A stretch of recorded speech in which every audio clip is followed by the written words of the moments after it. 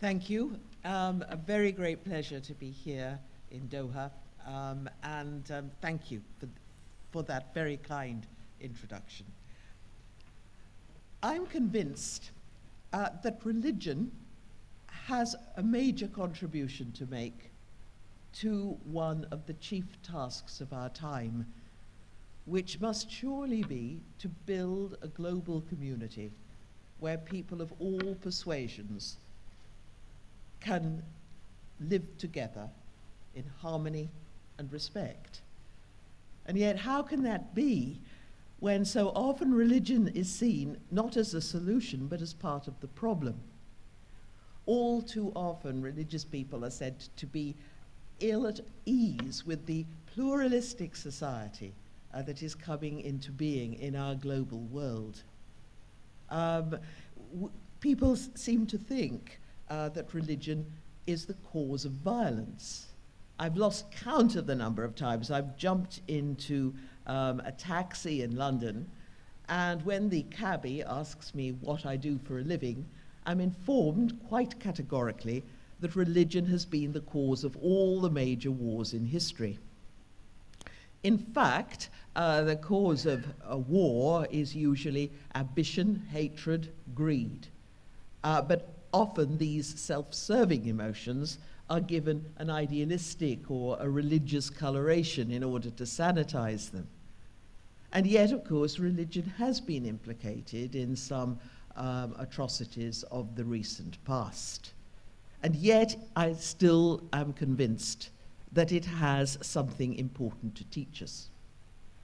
And so I was very pleased when I received this invitation and heard that the faculty here at Georgetown wanted me to uh, focus, or at least to, be, to take into my uh, discussion, my book on the axial age, the great transformation. Uh, now, what is the axial age? Uh, well, the phrase was coined by uh, Karl Jaspers, the German philo philosopher, uh, to refer to that moment of history uh, which was the pivot of humankind's spiritual experience. Uh, it stretches from about 900 to 200 BCE, at the time when all the major world faiths that have continued to nourish human beings either had their origins or their roots. Uh, the, this kind of new spirituality took place in four distinct regions of the world in China, uh, in India, in the Middle East, and in Greece, in Europe. Um, it, thus, in China, we have the growth of Confucianism and Taoism. In India, Hinduism and Buddhism. In the uh, Middle East, we have the roots of monotheism, which would come to fruition later uh, in Judaism, Christianity, and Islam.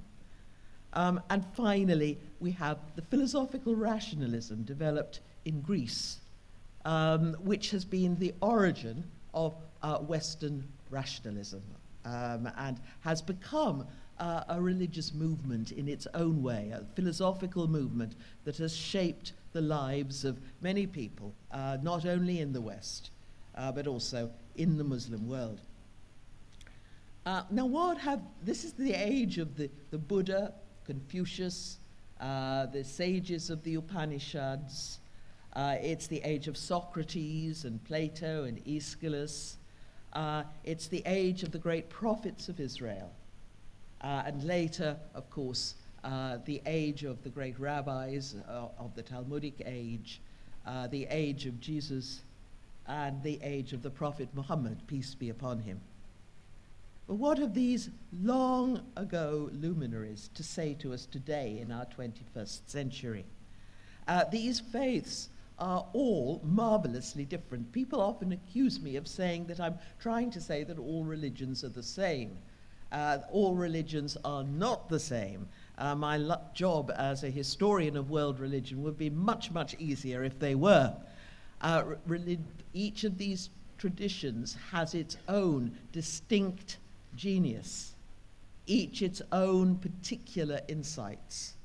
Um, and I personally have learned and been edified uh, by them all.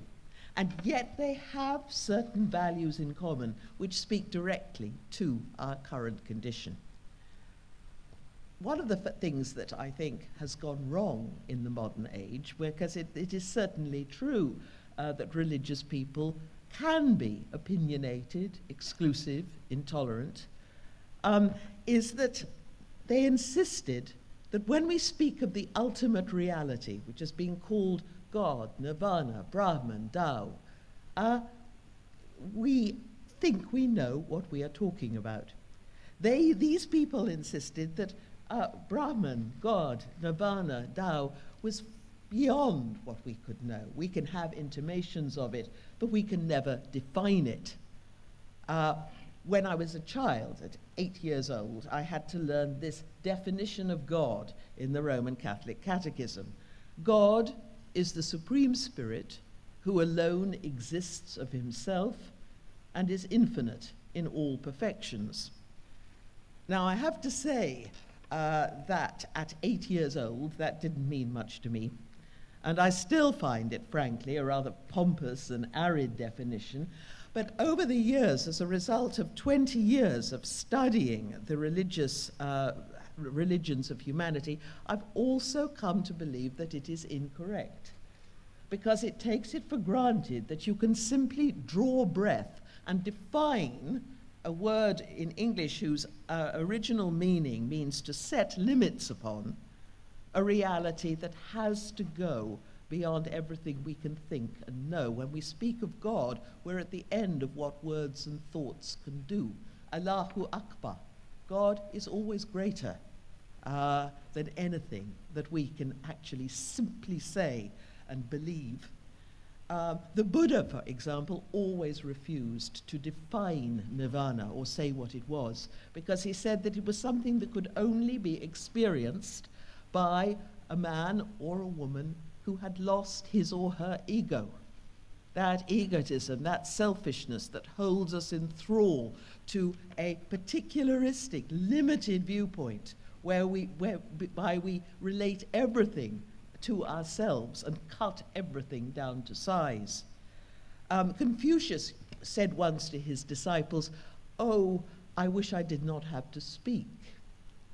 Oh, wise Master, said his disciples in distress, if you didn't speak to us, how would we have anything to tell our own students about you? Heaven does not speak, said Confucius, heaven being the high god of China. And yet, look how effective heaven is. Because of heaven, the stars wheel in their constellations, the four seasons follow one another in due order, and yet heaven doesn't, has no speaking, heaven has no words. And his, uh, I think he was trying to indicate that if we could only stop all this uh, sort of theological chatter, we too might become as effective as heaven itself. In the Indian subcontinent, the ultimate reality was called Brahman. Uh, and it was absolutely impossible to define the Brahman, to cut Brahman down to a neat definition. Uh, Brahman can be translated the all. Brahman is not a, a, a being. Uh, Brahman uh, is, uh, you can't pray to Brahman uh, because Brahman is also in yourself. It would be like speaking to yourself. Um, and yet, in the um, 10th century BCE, uh, the Brahmin priests established what I, what I believe to be an authentic model of theological discourse. The of this competition, it was a sacred competition. The uh, Indians were Aryan people and they loved competition um, like the Greeks, who were also Aryans. And um, the, the, the object of it was to define, to find a verbal formula in which to describe or encapsulate the Brahman. An impossible task, you might think, but nevertheless, they continually tried uh, to achieve it. And it would begin by the priests heading off into the jungle, into the tropical forests, where they made a retreat. And that tells us something straight away. You can't talk about God in the same way as we talk about a, a, a business deal or have an argument with our wives. Uh, you need to put yourself into a different frame of mind, different from our ordinary secular thinking, uh, in which we, uh, you, you put yourself into a more receptive frame, ra rather in the sort of frame uh, in which you uh, listen to music or um, engage or, or, listen to poetry. Uh, that, in fact, when you put um, somebody into sort of a brain machine when they're listening to music, different kinds of parts of the brain are at work there. Um, and different kinds of receptivity is involved. So they went off into the forests, and there uh, they engaged in spiritual exercises, again, to put themselves into a different frame of mind. Uh, they fasted, they practiced uh, breathing exercises, an early form of the yoga that would become essential uh, to uh, Indian spirituality. And then, when they were ready, they came back and the competition uh, began. Now, the challenger would kick off, and he uh, would draw on all his learning and spirituality and wisdom and come out with a, a verbal formula that he felt summed up what he meant by Brahman. And the others would listen, and they had to respond in kind. And um, the winner uh, was the person, however, who, after they'd bandied around their descriptions of Brahman and their verbal formulae, the winner was the priest who reduced all the others to silence. And in that silence, the Brahman was present. Its presence became felt not with the wordy definitions, but with the stunning realization of the impotence of speech. Um, when we are speaking of the ultimate, of the divine, we are at the end of what words and thoughts can do. Uh, the, in, in the medieval uh, Christendom, they had a word for that part of the mind that tips over into transcendence, that which goes beyond uh, what our normal mundane experience. They call that part of the brain uh, intellectus intellect. Uh, now, uh, we have sort of cut down the word intellect, to, at least in the West we have, uh, to uh, indicate the, the, reason, rationality. Uh, but for the medievals, intellect was that moment, uh, that part of the brain which makes it possible for us to realize that we've come to the end, we've pushed reason and thinking uh, to its ultimate conclusion, and there's, nothing, there's no more to be said. It's rather like uh, the end of um, a great concert or a, a, recitation of poetry or some beautiful music. And sometimes, when the last words or the last notes have died away, there's a moment of silence in the hall uh, before the applause begins. It's a very full, significant moment, very pregnant, fullness of silence. The purpose of theology should be to help us to live in that moment of silence.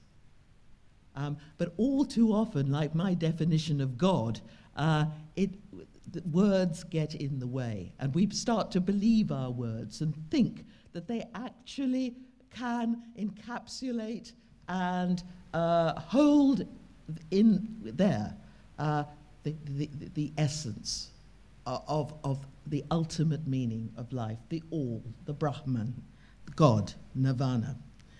Now, all the world faiths have, in their own way, reproduced uh, that uh, sort of Brahmodya competition, uh, that, uh, that Brahmodya speech, that tipping over into silence. Uh, I'd like to just mention Thomas Aquinas, uh, who in the West, 12th, 13th century philosopher, uh, was famous for his five proofs for God's existence. Now, um, proofs for God's existence. Most, pe most people said that it was impossible to prove God's existence because uh, we can only prove with our reason things that are material. Um, and God is clearly not in that category at all. Uh, but Thomas Aquinas drew on the latest science, Aristotelian philosophy, and he drew also on the arguments of Ibn Sina, uh, Maimonides, um, and the Greeks. And that's important. In those days, uh, Christians were not frightened of science and they were not frightened of other faiths. Thomas Aquinas was writing at a time when some of his contemporaries were butchering uh, Jews and Muslims in the Crusades. But he was ready to learn and uh, study the works of Maimonides and Ibn Sina um, and uh, Ibn Rushd uh, and, and learn from them and bring, the, bring this, their wisdom to the people of the West. And drawing on these, he comes up with five uh, proofs. He, called, he didn't call them proofs, he called them five viae, five ways for God's existence. And he says, yes, uh, following Ibn Sina and all these others, he said, yes, uh, God is the, the first cause, the beginning of everything. They must have had a, a, a beginning. Uh, he is the highest excellence. He is necessary being, whereby all other beings come from other beings. We all come from somewhere, and we all have a cause. God is being itself. Uh, and finally, and, and, and at the end of each of these proofs, he comes out with a set phrase. He says in Latin, that is quod omnes dicunt Deum, which can be roughly translated, that's the sort of thing that everybody means when they say God. And then it, having seemed to prove God's existence so that it's all quite clear, done and dusted, as we would say, uh, he, Thomas pulls the rug out from under our feet. Uh, this is the part that people don't always read. Uh, he says, uh, but we don't know what it is we've proved. All we've proved is the existence of a mystery. We have no idea what we mean by a necessary being. Uh, again, uh, we, we have no idea uh, what we mean by God, even. Even the word God uh, is difficult. We can't say, is there a God or God exists, he said, because our notion of existence is far too limited to apply to God. We're talking about another kind of reality. And we can't say, is there a God? Because God is being itself. God is not a sort of thing. Um, and so he's used those proofs, those scientific proofs, rather like the Brahmodya, to push our reason to the ultimate and then leave us in that moment of silent awe. Now, uh, some people say nowadays, well, of course, we can't prove these things, we just have to believe it. Um, now, um, this has become one of the bugbears of our time. Uh, believing things. We often talk about religious people as believers, as though accepting certain doctrines on faith, on, on trust, uh, is essential to what the most important thing they do. The Buddha used to tell his disciples never take anything on trust, never take anything at second hand. Even, even my teachings, if they don't help you, leave them to one side, put them into practice. And the word belief in English has changed its meaning. Um, in the up until the 17th century, the word beleben, as it was pronounced in uh, Middle English, meant to love, to commit yourself. It was related to the German Liebe or the Latin libido, desire. Um, it meant commitment, loyalty. Um, it did not mean accepting a whole uh, lot of ideas or propositions. Um, the, so when the Bible was translated into English, um, the word pistis, the Greek word pistis, used by Jesus to say he wanted people to have faith, uh, was translated believer. And people now read the Bible uh, because in the late 17th century the word changed its meaning to say that Jesus wanted them to believe uh, that he was, he was the Son of God, an idea that Jesus would have found rather strange, I think. Um, but uh, Jesus is not asking for belief in that sense, he's asking for commitment. And if you read the Gospels, you see quite clearly that Jesus is asking his disciples to um, give all they have to the poor, to work hard for the coming of the kingdom, uh, to uh, live like the birds of the air and the lilies of the field, and have trust, faith in God their Father. Not accept a whole lot of propositions. And religion, of course, is not about thinking things or believing things, but about doing things. What is the Quran but a call to action? When the Quran uh, talks of faith. Um, it doesn't mean that we have to accept a whole lot of ideas, but it follows it up always with its performing the works of mercy, the salihat. Uh, that it is uh, asking people to look after the poor and the vulnerable, to free their slaves, to take care of orphans and widows, uh, it's not asking for belief. I mean, the, the Quran is rather scathing about theological orthodoxy, which it calls zanna, self indulgent guesswork, um, which makes people quarrelsome and sectarian. Uh, it's very, very odd, it, uh, the Quran thinks, that uh, Christians and Jews argue about who Jesus was. How can you prove it one way or the other, says the Quran? Uh, are you mad, Christians and Jews? Uh, we, we, this, is, this is something, um, the, religion is about doing things.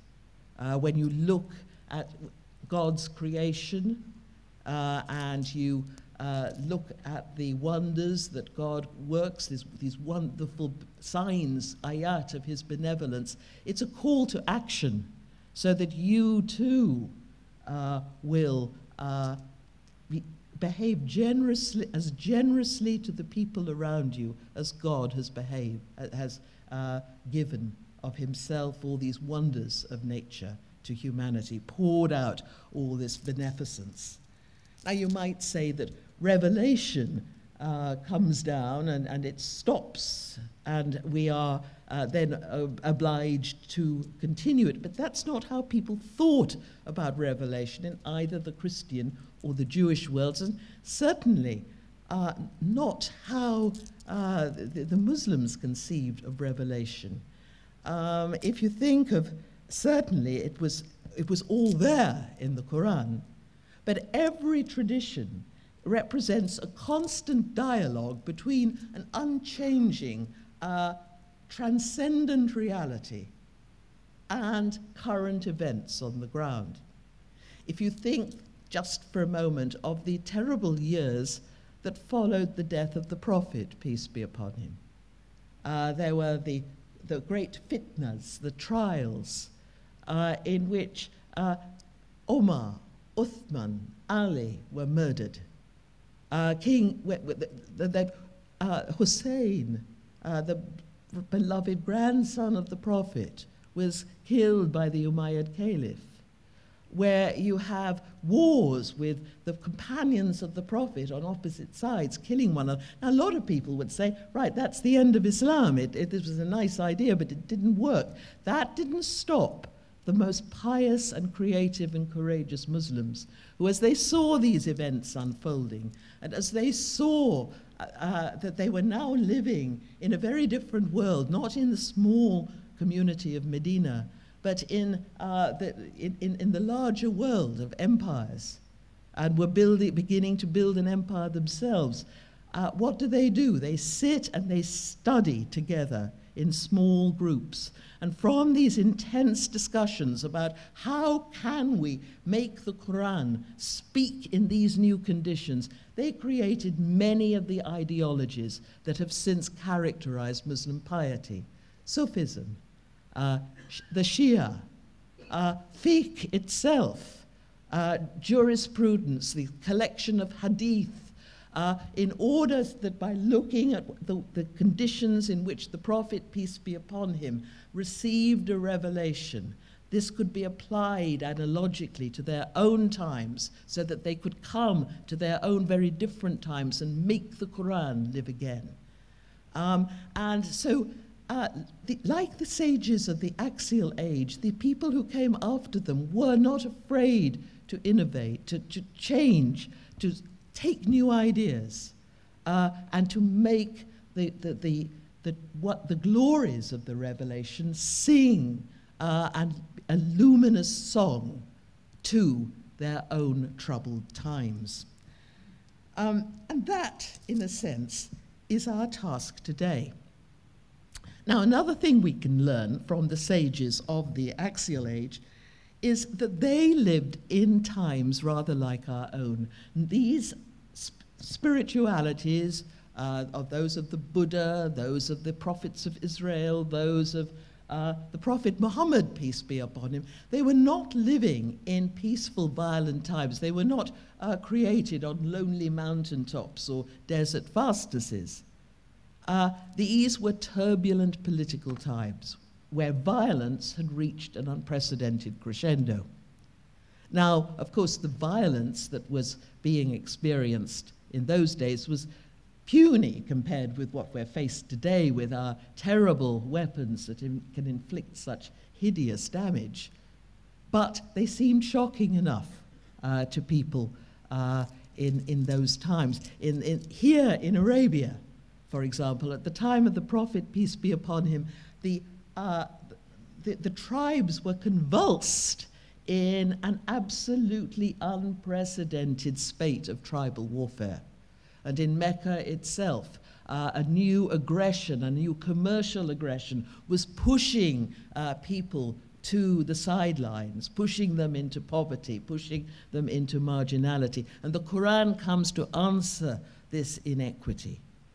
Um, and each one, I found when I was writing my book, The Great Transformation, about the axial age, I found that in every single case, one of the catalysts for religious change was a revulsion from that violence. Uh, uh, right at the beginning in, in India, uh, the priests uh, looked around at the new, uh, violent, the new level of violence that had happened in the states and kingdoms that were being created at that time in the 9th century BCE, and uh, developed the doctrine of ahimsa, non violence, that has been absolutely crucial to Indian spirituality. Yoga is something that is very popular in the West today. Um, it's, uh, it's taught in gyms throughout London. Uh, but it's very different from the kind of yoga that was going on at that time. Yoga was not seen as an aerobic exercise.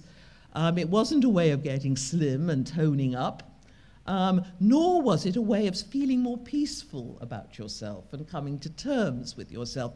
It was about the systematic uh, e- expulsion of the ego from your thinking.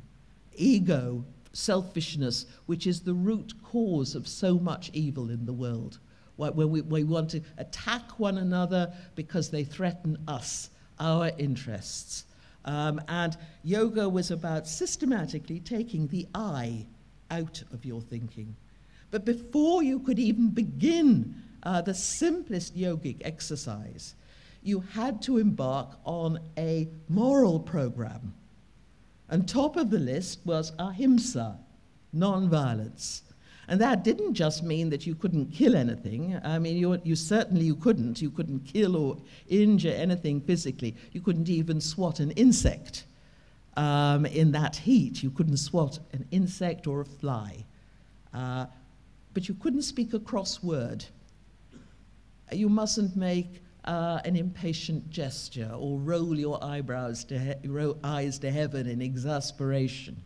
You had to exude uh, uh, a spirit, an attitude of kindly affability to everybody, even the most annoying monk in the community. And until your guru was satisfied that this was second nature to you, uh, and you'd won that battle against that irritation, that desire to hurt or to wound, uh, you could not even begin to sit in the yogic position. Um, and, but it wasn't a question of simply not doing things, not uh, uh, the, uh, hurting. himsa means not harming. You had also to, de- to behave in a positive way, an act- attitude of positive kindness and goodness to others. And every single one of the major world faiths developed at the core of its uh, ethical teaching the principle of compassion. Now, this is often summed up in what's sometimes called the Golden Rule. Never treat others as you would not like to be treated yourself, sometimes expressed in the positive form. Always treat all others as you would wish to be treated yourself. Uh, and it now seems to me quite clear that unless, as a species, we learn to treat all peoples as we would wish to be treated ourselves, whoever they are, whatever their beliefs, we are not going to have a viable world to hand on to the next generation. And that any ideology that breathes, encourages hatred or contempt is failing the test of our time, failing humanity. Because this is what our sages said. Not one of you can be a believer, said the Prophet Muhammad, peace be upon him, unless he desires for his neighbor what he desires for himself. Uh, the principle of the golden rule is, was written very easily, quickly into uh, the uh, Quran from the very early start. The early biographers of the Prophet, peace be upon him, said that, uh, tell us that in the early days, when he started first to receive revelations, he, kept, he spoke about them only to his closest friends and family and didn't go public with these uh, with these messages. And then, they tell us, for a period of two years, the divine voice fell silent and there were no revelations. And this was a period, the biographers tell us, of great sorrow and desolation for the prophet. Peace be upon him. He wondered whether he'd somehow been tried by God but found wanting. It was a, a, a, perhaps he'd failed and he was obviously found to be not suitable to be a prophet after all. And then suddenly, after these two years of darkness, it ends with Surah Daybreak, uh, which comes in a burst of luminous assurance. By the morning hours, your Lord has not forgotten you. And, it, and then, uh, did we not find you an orphan and give you help? Did we not find you poor and give succor to you? And here's the corollary As for the orphan, do not oppress him. As for the poor, do not turn him away. You yourself uh, know, uh, the Quran is saying, what it is like to feel that desolation, that abandonment, that loneliness, that terror. Make sure, therefore, because we have we, God, have taken that sorrow away from you, that you make sure that nobody in your community and in your vicinity suffers that desolation yourself. Never uh, have treat others as you would not like to be treated yourself. And then it ends, the surah, with a command, and now the grace of your Lord proclaim. And the prophet peace be upon him, has to leave the consolations and privacy and security of our private life and proclaim, uh, go public with his message and face all the dangers that we know uh, came to him at that time. Um, one of the earliest people uh, to uh, formulate the golden rule, as far as we know, was Confucius. Um, and uh, his disciples asked him, Master, which of your teachings uh, is the central thread that runs through everything you say? Uh, what is the single thread that pulls all your teachings together? And what teaching, which of your teachings can we practice all day and every day? Notice that all day and every day. In England, we have a habit uh, of saying when we do something nice for somebody, well, that's my good deed for the day as though we could then uh, go back to our usual selfishness and unkindness and bitterness for the next 23 hours. Uh, no, uh, all day and every day. Uh, so Confucius explained what he meant uh, in the word shu, which means likening to yourself, making your own feelings the guide to your treatment of others. You, he said, seek to establish yourself then seek to establish others. You want to turn your merits to account, then make certain that other people have the opportunity to turn their merits to account. Never treat others as you would not like them to treat you. Look into your own heart. Find out what gives you pain what has given you pain in the past, and then refuse under any circumstance to inflict that pain on anybody else all day and every day. And if you do that, the Confucians discovered, uh, you would leave the ego behind because you were dethroning yourself from the center of your world day by day and putting another there. And you, in that way, uh, they said you encountered the Tao, the ultimate reality, the way. Um, the rabbi, great Rabbi Hillel, the older contemporary of Jesus, was once approached by a pagan who promised to convert to Judaism on condition that the rabbi recited the whole of Jewish teaching while he stood on one leg. And Hillel stood on one leg and said, That which is hateful to you, do not do to your neighbor. That is the Torah, and everything else is only commentary. Go and study it. And it's a deliberately provocative, witty statement, but very uh, insightful. It, many of the things that we would think to be essential to Judaism, uh, the creation of the world in six days, 613 commandments, uh, the exodus from Egypt, the Holy Land, this is a mere gloss on the Golden Rule. Um, and Jesus uh, taught very much the same thing. Now, but I find uh, on my travels, since I've been talking about this, that um, people are very vague about what compassion actually means.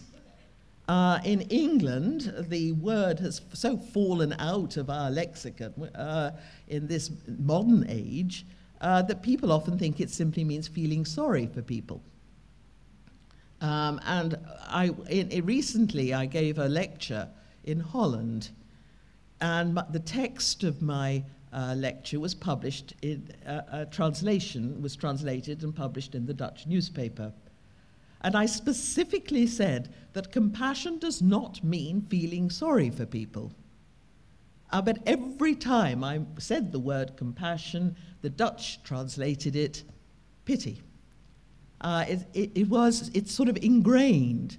But compa compassion comes from a Greek or Latin root, kompathein, which means to feel with the other, to undergo something with, with, with, with a person to suffer something with another person, to put yourself imaginatively in the shoes of another all day and every day.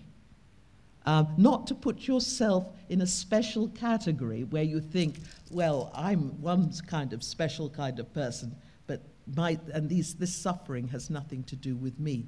Putting yourself in that position um, of pain. Um, and um, but in Hebrew and Arabic, uh, the word Al Rahman is related etymologically to the word for womb. And that raises the specter of mother love. The icon of the mother and child is um, a, a, a, universal symbol of uh, humanity. Um, and yet, mother love is hard. A mother has to get up to her crying child every single night, no matter how exhausted she is.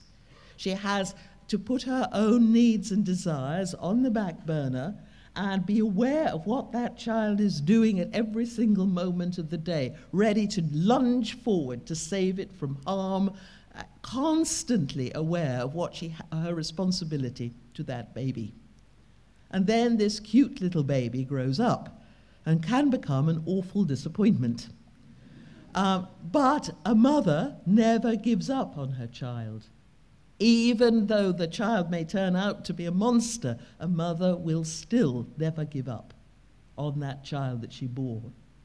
And there's a, a, a Buddhist prayer that says, Let us cherish all creatures as a mother her only child, uh, which indicates that we have to have the same sense of responsibility preoccupation, and concern with all creatures, all species, and all human beings, no matter how disappointing and disillusioning our fellow human beings may be. In uh, the Buddhist and uh, Hindu tradition, karuna, translated compassion, has nothing to do with feelings. Uh, it's a resolve, a resolution to, to liberate all beings from their pain.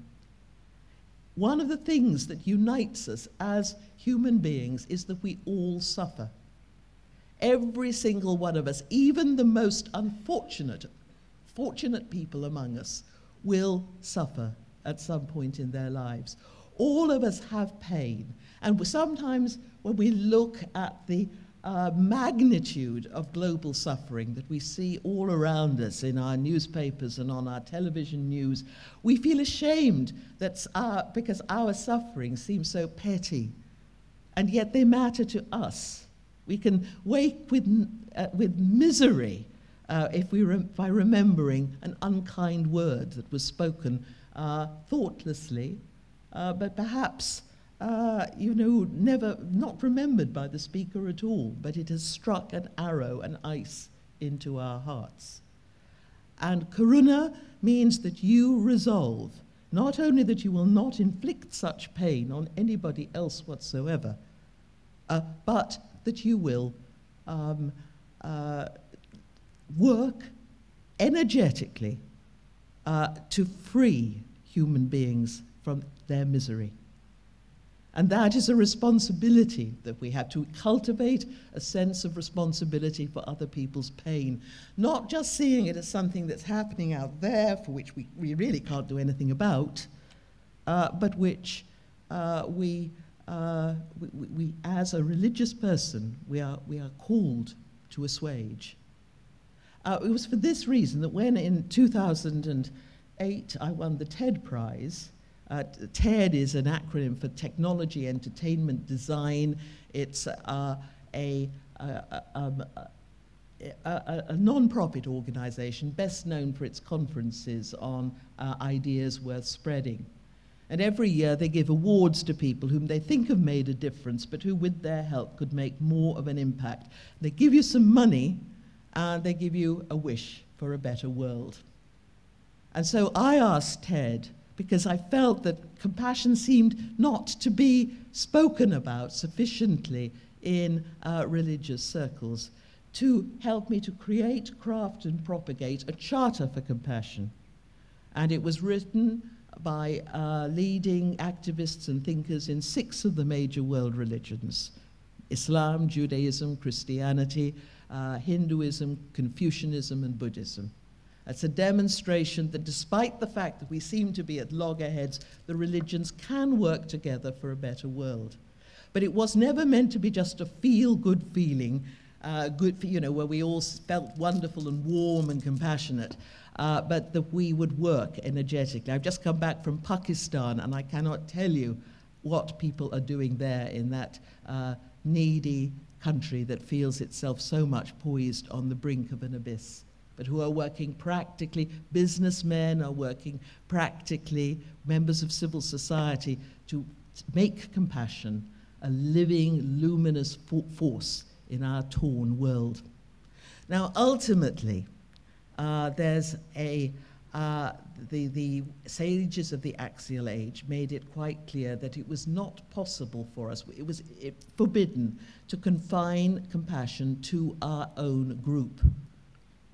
Our own congenial friends, the people, our own community. We had to have what one of the Chinese sages called Jian Ai, concern for everybody. We have to, and, and that's shown very uh, in, in the prophet's own lifetime.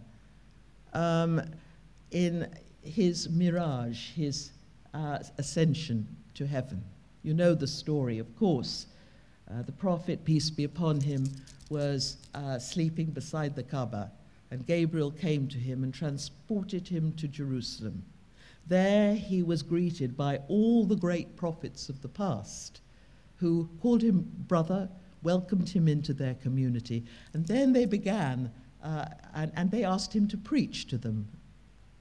And he, after he'd finished his sermon, he ascended through the seven heavens, conversing with some of the greatest prophets of the past, with Jesus, Moses, John the Baptist. He has some discussion with Moses about how many times Muslims should pray. And he's thinking of 10 times a day, and Moses says, Don't even go there. This is totally unrealistic. Uh, try for one. And uh, eventually, of course, as you know, they fix uh, five is, is the, the number of times. And that's often taken to be a sign that Islam is the middle way. It's neither excessive, neither nor too lax. But this is also a story of pluralism. Uh, the prophets uh, welcome one another. They don't say to the Prophet Muhammad, peace be upon him, how dare you, you upstart, imagine that you are a prophet. They welcome him, they ask him to preach, they listen to each other, they share each other's insights. And I think this symbolizes the prophet's yearning to bring the Arabs who seem to have been left off the map of salvation right into the heart of the monotheistic family. Um, God is the light of the world, uh, says the Surah Al Nur. Uh, neither in the east nor the west. It cannot be confined to a single lamp.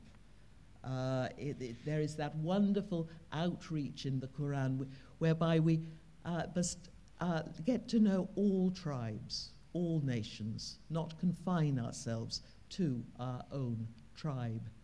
Jesus said, Love your enemies. And people often say, well, that's totally unrealistic. It's a contradiction in terms. Are we expected to feel sort of warm affection for Hitler, for example? Uh, but Jesus is not talking about feelings any more than uh, the Buddha was. Um, the, he's using, he's making a rabbinic commentary on a, a, an ancient Hebrew text, Leviticus. It's in the Hebrew Bible. And uh, the word hesed, used here for love, uh, was not anything about feeling. Leviticus is a legal text, a very dry legal text, and talk about emotion would be as out of place as it would be in a Supreme Court ruling. Uh, the word uh, Hesed was used in international treaties. It was a technical legal term. Two kings who may have been enemies promised that they would love each other. And that didn't mean they would fall into each other's arms, uh, but that they promised that they would now look out for one another's needs. They would come to each other's practical aid. They would uh, uh, they would defend their uh, and be absolutely loyal to their new ally at all costs. Seek that his good on all occasions, even if it went against their own short term interests. Now, this is the kind of love that we must give to, even to our enemies, so called, in this torn world, because the enemy is not out there anymore. The, we are now interconnected as never before, economically, uh, politically. What happens in Afghanistan or Iraq today can have repercussions in New York tomorrow. What, uh, when one market goes down in one part of the world, stocks plummet right the, right the way around the globe that day. We are, uh, we are all facing environmental catastrophe, whether we like it or not we have, we are bound together at the same time as we are deeply polarized. And yet often our perceptions don't, haven't caught up with this reality. We must give each other practical support for the simple reason that if we don't, uh, this will rebound on us. Uh, we, we, it, the world will be no longer viable. Um, now, um, I'm going to finish, however, with the ancient Greeks. Now, we don't often think of the Greeks as religious and, or certainly as compassionate, uh, but they, uh, they were, a, a, in some ways, a terrible people, a violent people, uh, invented a new species of warfare. But at the, at, they were the founders of the Western rational tradition. And at the time when they were at their, their height, the 5th century BCE, they invented a new tragic genre, the genre of, uh, the, of, of, tragedy. Every year, as a religious festival, uh, the leading playwrights of Athens would put on uh, tra tragic plays. Uh, th these plays usually uh, retold one of the ancient Greek myths. Um, but the myth was changed and adapted in order to reflect a current problem that had been uh, plaguing Athens that year. The plays were a communal meditation. Um, everybody had to go. It was a civic duty. Prisoners were let out of jail so that they could join in this. Uh, because it was a civic duty, an exercise to meditate together on the plight of Athens. And in these plays, the Greeks put suffering on stage. We like to push pain away because we get, we get not another earthquake, we say, not another flood, uh, not another war. I'm sick of these, these spectacles of misery. We feel overpowered and want to push it away as though it had nothing to do with us. But the Greeks uh, presented in these plays men and women in an extremity of agony, wrestling with impossible dilemmas, with pro problems, and ha having to come to terms with the unexpected uh, consequences of their actions. And periodically, the leader of the chorus would turn to the audience and say, And now weep.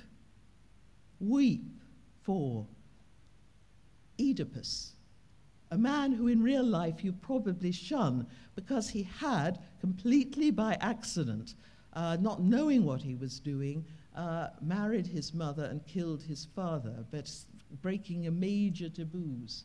And the Greeks did weep.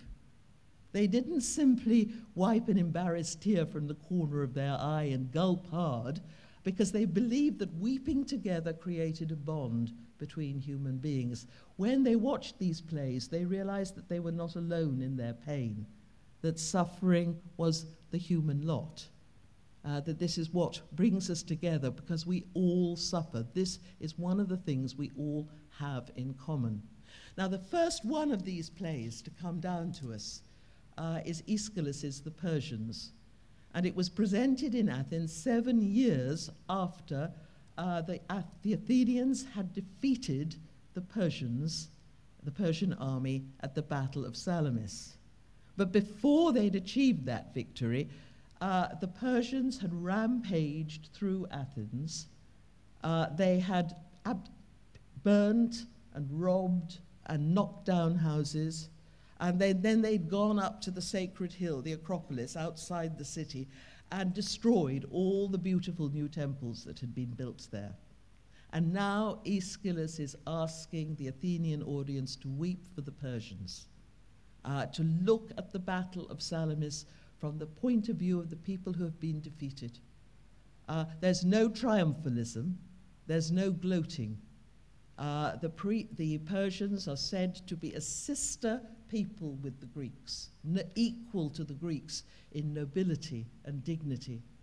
When Xerxes, the defeated general of Salamis, arrives uh, home on the scene to announce that he's lost the battles, uh, the, he's escorted with great reverence into his house. The Greeks, the Persians are presented as a people in mourning. And um, but what Aeschylus was asking the Persians, the, the Greeks to do is recognize the enemy too had pain. The enemy also suffered. And sometimes when I'm speaking in New York or Washington, I sometimes say now, after 9 11, after that period of time, uh, could you put on a play in Broadway that asked your American audience to weep for parts of the Muslim world uh, who are, which are suffering? and they, they smile ruefully. Uh, because this is a, was an extraordinary thing. Now, this ability to recognize the pain of the enemy uh, was, goes back very far. It goes back to Homer, and on this I finish this story. Uh, the Iliad is a long, long poem full of war, I have to say, uh, full of battles and gory descriptions of wounds. Um, and it tells the story um, of one small incident in the long 10 year war between the Greeks and the Trojans. And in the course of this, this incident, um, Achilles, the chief warrior on the Greek side, uh, has a quarrel with his king. And in a fit of egotistic pique, he uh, goes to his tent and sulks, rather like a child, um, and he withdraws all his troops from the battle. Now, this is absolutely disastrous for the Greek side. And in the ensuing uh, confusion, Achilles' beloved friend Patroclus is killed by Hector, one of the Trojan princes. And Achilles goes mad with grief and rage and guilt. And he challenges Hector to a duel. And the two of them fight it out in front of the, both armies, the Greeks and the Trojans, who are watching this. And on the, uh, Tro- the walls of Troy, Hector's family, the royal family of Troy, are watching uh, this, this fight. And of course, Achilles kills Hector, and then he mutilates the body. He ties it to the back of his war chariot, and he drives round and round Patroclus's grave. And then he does an even more terrible thing. He uh, refuses to give uh, Hector's body back to the family for burial. And that means, in Greek terms, that Hector's soul will never know rest. It will wander unhappy and unsatisfied for all eternity. Then one night, into the Greek camp comes Hector's father, old King, King Priam of Troy, in disguise, comes right into enemy territory, and he makes his way to Achilles' tent. Um, and when he re- arrives in the tent, he takes off his cloak and disguise. And of course, everybody is shocked. And they watch while this old, frail man uh, comes to Achilles and falls at his feet, embraces his knees, and weeps. He, at this point, uh, Homer calls Achilles man slaughtering Achilles, uh, because uh, Achilles has not only killed Hector, but many other of Priam's sons. And Achilles, uh, still rageful and grief stricken, looks at the old man and he remembers his own father and he begins to weep. Uh, and the two men weep together, each for their private sorrows, but creating a bond between them. Priam weeps for all the sons that he has lost. And um, Achilles weeps, uh, uh, Homer says, now for his father, now for Patroclus. And then, then they fall silent, and the two men look at each other. And Achilles goes and gets Hector's body and he lays it very, very gently in the arms of the old man, very concerned that the uh, weight will be too much for him. And then the two men look at each other, and each sees the other as sacred, as divine. Uh, I think this is the, the, what I'm trying to say. I think it, this story expresses the spirituality that is possible in our time when we open our hearts to recognize that our enemy also suffers, if we can make ourselves weep for the enemy, we are most close, closely akin to God. Thank you.